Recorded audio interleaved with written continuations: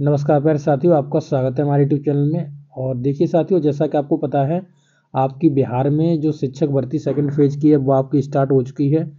तो आप कब तक इसके जो फॉर्म है, वो आप भर सकते हो? इसकी शुरुआती डेट क्या है?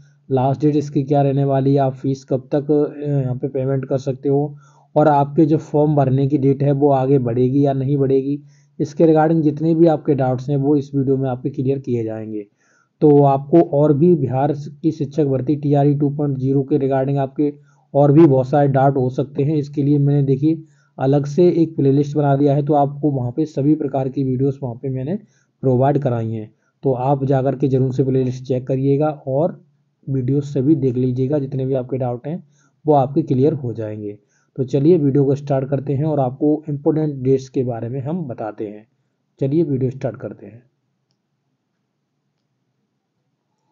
तो देखिए साथियों, आप स्क्रीन पे देख सकते हो, ये आपकी सभी ऑनलाइन जो इम्पोर्टेंट डेट्स हैं, यानी फॉर्म भरने की जो डेट्स हैं, वो आप यहाँ पे देख सकते हो। सभी यहाँ पे डेट्स के बारे में बात की गई है।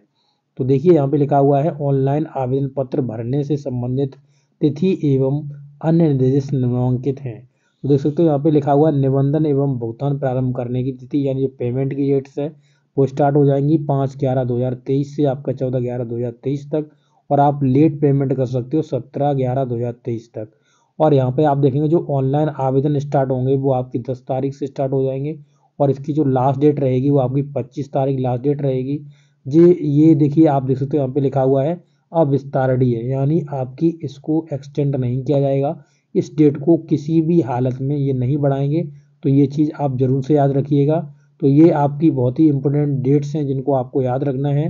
और अपने फॉर्म को जल्दी से जल्दी भर दीजिएगा, ताकि आपको यहाँ पे साइट हैंग होने का कोई भी यहाँ पे इशू देखने के लिए ना मिले।